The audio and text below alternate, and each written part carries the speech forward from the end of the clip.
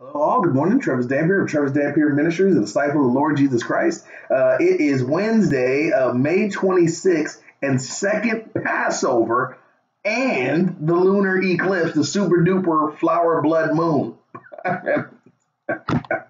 oh, what do I say today? I, I, was sitting over here like, what, what do I say, Lord? Now, what we don't want to do. Okay, let me let me be clear. When I say it's super duper high rapture watch day, right? We don't want to say like 100% like this is it. Let, let's not say that. But I'm telling you, man, we got so many signs here right now. It's crazy. You know what I mean? That, that, that's all we're saying. So um, keep watch, but don't get so sucked in.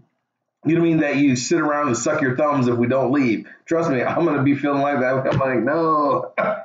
but um, I'm also very happy when I am disappointed because when I'm disappointed, it's just like a child sitting around um, looking through the window at an orphanage waiting for his father to come pick him up and it's raining outside and stormy and then they see uh, some car lights coming and go, oh, yeah, there goes dad, there goes dad. And then it, it goes past and they go, no, sorry, sorry, son, it's not your daddy. Your daddy's coming though. He called and said he's coming. I go, no, but it's taking so long, you know, and, and that's how we feel you know what I mean? But you gotta keep up the hope. You know what I mean? For for your dad to come home every light. That's the fun part of the thing, even though it can emotionally pull you out. But but but that's the love that you're showing, and it's evidence of it. You know what I mean? When you feel that way. So don't feel bad for it. Actually rejoice when you feel disappointed. You know what I mean? Because that meat will disappointed when he's not coming or hasn't come yet. Forget that statement. When he's not has not yet come. Because it means that you're still watching, you're still looking. You know what I mean? You just continue to keep your anointing oil in your lamp, in you. You know what I mean? Keep the anointing, keep you mean fresh word in you. You know what I mean? And and stay in repentance and obedience. And that is the call that Jesus has for us while we continue to work in the vineyard and warn people of the things that we're seeing and that are here. But let me um, read Numbers 9 for, for those of you that don't understand what second Passover is. So I'm going to read this. It's not that long, but uh, it's very important that you guys know this is not a made up thing. This is literally God Himself speaking um, to the Israelites. So let me read this uh, Numbers 9 1 through 14. The Lord spoke to Moses in the desert of Sinai in the first month of the second year after they came out of Egypt he said, Have the Israelites celebrate the Passover at the appointed time. Celebrate it at the appointed time, at twilight on the 14th day of this month, in accordance with all its rules and regulations. So Moses told the Israelites to celebrate the Passover, and they did so in the desert of Sinai at twilight on the 14th day of the first month. That's Nisan 14. The Israelites did everything just as the Lord commanded Moses. but some of them could not celebrate the Passover on that day because they were ceremonially, ceremonially unclean on account of a dead body. So they came to Moses and Aaron that same day and said to Moses, We have become unclean because of a dead body. But why should we be kept from presenting the Lord's offering with the other Israelites at the appointed time? Moses answered them, Wait until I find out what the Lord commands concerning you. Then the Lord said to Moses, the Lord said to Moses, Tell the Israelites when any of you or your descendants are unclean because of a dead body or are away on a journey, they are still to celebrate the Lord's Passover, but they are to do it on the 14th day of the second month at twilight. They are to eat the lamb together with unleavened bread and bitter herbs. They must not leave any of it till morning or break any of its bones. When they celebrate the Passover, they must follow all the regulations. But if anyone who is ceremonially un, uh, ceremonially clean and not on a journey fails to celebrate the Passover, they must be cut off from their people for not presenting the Lord's offering at the appointed time. They will bear the consequences of their sin. So really important to understand, like this was a commandment and a strict one, you know what I mean, from the Lord. So um, it is an appointed day. Uh, and keep in mind, when the Israelites asked Moses, they weren't on a long journey. They just said, hey, we were unclean because of a dead body. The Lord added that long journey thing. Jesus represents the man on the long journey. You know what I mean? So it's very exciting when we're at this point because the Lord orchestrated this appointed time for for a reason. Um, and I love it that it's the second Passover. We know that the Lord has two brides. You know what I mean? The first time, you know what I mean, that he rose, you know what I mean, on Passover, you know what I mean, or, or died on Passover, you know what I mean, per se. But then with the three days and, and then got risen from that, you know what I mean, after that, then the Old Testament saints also, you know what I mean, were walking around and talking and resurrected at the same time. You know what I mean? So now we've got a second opportunity to be resurrected with the first. Jesus was the first fruits, you know what I mean, of many. You know what I mean? So we may have that tied in with the first Passover. You know what I mean? Hallelujah. So very, very excited. Okay, so let's get to uh, the news from yesterday. I got to hurry up and do this because I want to be outside at 7 Eleven Eastern today. Man, I'll surely hope, man, this is the last day, man, on, on this. Well, I keep saying not on this earth, but on earth the way it is. You know what I mean? Because we'll be coming back in our new bodies. You know what I mean? When we come. So, um, oh, Lord willing. But anyway, we're starting to see some of those uh, uh, solar flares start to get through. Um, the major ones are supposed to hit um, today. You know what I mean? So we'll talk about that very shortly. Um, but they were already, you know, starting to go. So over in Goma, um, where that uh, Nyiragongo uh, volcano had erupted a couple days back, earthquake hits Goma two days after the volcanic eruption, causing cracks in the earth and more destruction to homes and infrastructure. Um, and then there, uh, uh, there's a lake over there, and I'm going to talk about it um, shortly. Um, but it had uh, methane bubbling up in the lake after this earthquake, um, and now the sucker's on fire, and the sucker is on fire. So I don't know what happens with eruptions like that, but dude, it, that's some scary stuff, man. I, I don't know what, what what's gonna happen. Uh, Sister Barbara had another uh, prophetic message. Um, says that you have been prepared by world leaders for a strange encounter. Um, so it's another prophetic word from the Lord declaring world leaders have set up a strange event to take place soon and to keep our eyes focused on Jesus so we are not deceived. Um, I mean, this could be Project Bluebeam. This could be all kinds of crazy, deceptive stuff. But um, the Lord's already pre-warning, um, saying that look, they, they've been planning this stuff for years, and they have a strange event to, to come. You know what I mean? And if the Lord's saying it's strange, then um, well, in our view, then then that's um, what we need to watch out for. We had some some more um, um, news on Israel's intelligence. There was another explosion in Iran that took place yesterday, uh, most likely by the hands of Israel. Um, so we, we do see there, there's more uh, tit for tat war stuff that, that's still going on between Israel and Iran, even though that uh, peace and safety deal, whatever for, for Gaza and, and them, you know, um, is, is in motion. It's like Israel just moved straight back to Iran with the with the tit for tat stuff. Um, so keep in mind, like this this thing is is growing and it's going to continue.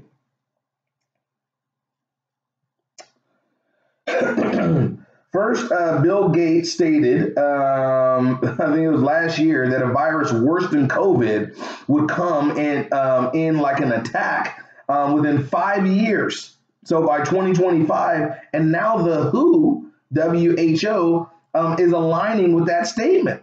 So a virus, so what, what they say is um, a virus even more transmissible and fatal than COVID-19 will lead the world into the next pandemic, the Director General of the World Health Organization has said, noting the evolutionary certainty of such an occurrence. Make no mistake, this will not be the last time the world faces the threat of a pandemic.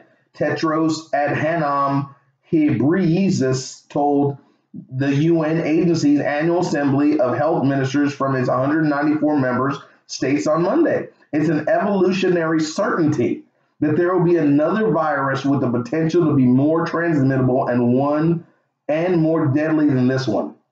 Mm, mm, mm. They already have plans to release another one. Goodness, man. Uh, and the Lord talks about plagues and, and pestilence and all these things are going to be hitting during tribulation time. And they said, they're telling you It's going to be worse than COVID already. You need to sign out of this world now. There's only one entity, one person that is going to get you out of here, and that is Jesus Christ. No one else is going to remove you from here. No one's going to help you. The government is satanic. No one's going to help you. You need to help yourself find a way. And Jesus Christ is the way. He will lead you home, but you gotta you gotta commit yourself to him. You can't have a marriage with somebody that's uncommitted. You gotta commit yourself to him, and you gotta do it now. Like literally, we have an hour and 11 minutes till the full uh, uh, lunar eclipse. I mean, he can come before that. He can come right now while I'm talking.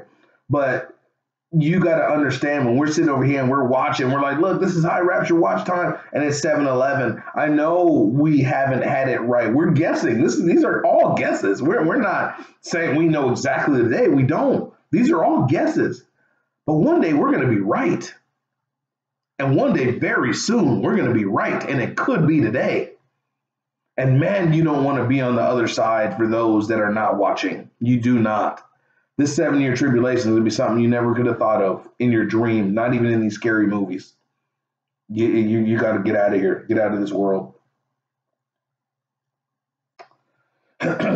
so it looks like there's another flare that popped off the sun yesterday, but also what was super duper interesting, there was two large objects, these big white objects. Could have been just one, and it moved from the top of, of LASCO in the satellite, and then it moved down. This thing looked like a big ship. I mean, could be, you know, I mean, our ark. Honestly, if you looked like it, that's what it looked like. It looked like an arc, or you could even look at it like a dove. And this thing was huge. It's, it's like as big as the sun almost. This thing was monstrous, uh, and it's moving fast. It was at the top of the sun, then it went to the bottom. So this thing is moving. So um, it's very interesting. You got to see that thing. Um, we don't know what it is. We, we definitely don't know what it is at all. Um, this is what I was talking about. Uh, Lake Kivu um, bubbles up methane after a 5.1 earthquake hits uh, Rwanda. Uh, and then they, they did an update, you know, on the video, like I said, and um, literally it caught on fire. So, uh, man, if that thing explodes, man, I mean, it's right next to the villages. Like, it's literally right there. Like, they could walk inside the water and just walk to it. Um, very dangerous. And uh, I did some research on it. They said um, some years back because the CO2 that was pouring out, um, hundreds had died, maybe even more than that, maybe into the thousands had died just because of the gas alone being burnt and then pushed into the villages. Um, so, Lord, please protect those people that are over there, Lord. Let them see this and let them see that they need to repent, that there's a God that is uh, pushing these birth pains, and his name is Jesus Christ. Let them point to you, Father, so that they will know who you are. In Jesus' name, amen.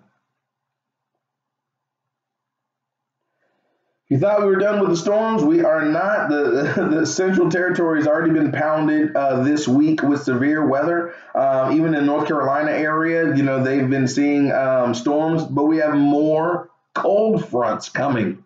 More cold fronts coming. So there's going to be more snow in certain areas. Um, but um, like I said, more severe weather uh, to the Central Territories and Northeast, um, starting from yesterday and going on for the rest of the week uh, large hail, damaging winds, and tornadoes because of the uh, multiple cold fronts. More birth pain warnings from the Lord. Here is that uh, solar uh, eruption uh, update uh, to give you some timing, but very interesting timing. Again, the multiple CMEs that have hit us have opened up the Earth's shield. So there's so many the the C flares, then those M class. Literally, the shields are open. It's it's like it was appointed. Lord's been pounding, making sure this opening comes, and then the M classes are hitting. Bang, bang, and they're gonna hit at UTC 12 o'clock. UTC 12, May 26th. That's about 8 a.m. EST today. But 12, but 12, at midnight, the cry rang out, Here's the bridegroom, come out to meet him. Oh, hallelujah. So another God wink. I mean, on what's about to happen. You got um, multiple flares, all about to hit, all about the same time. You know what I mean? And that's at 12. We have biblical scripture regarding 12. You know what I mean? At midnight when the bridegroom comes. It's second Passover. I mean, we have the, the super duper flower blood moon eclipse, super rare, 7% bigger than others, using the, the, number seven. I mean, we have, you know, of course, the COVID stuff. We got the COVID passports. We got, I mean, we got so much. We got Israel with the peace and safety, you know what I mean, stuff going on right now. Sudden destruction comes upon them. Man, we got sign after sign after sign all we all we have to do is just stand here, people. Like we, we literally um, are, are, standing at a bus stop, and the bus, you know, I mean, is, is, about to come. Like literally, you know, the bus is coming. It's always on schedule. Like uh, he's right on time, always has been. Um, so so we wait for him. We just wait. But you need to make sure you have your bus ticket. You need to make sure that you are um, um, right with God. Ask Him. You know what I'm saying? Say, Lord, is there anything in me is unclean to you. You know what I mean? Please let me know so that I can repent for it. Not just right now with words. Let me know what it is so I can turn away from it.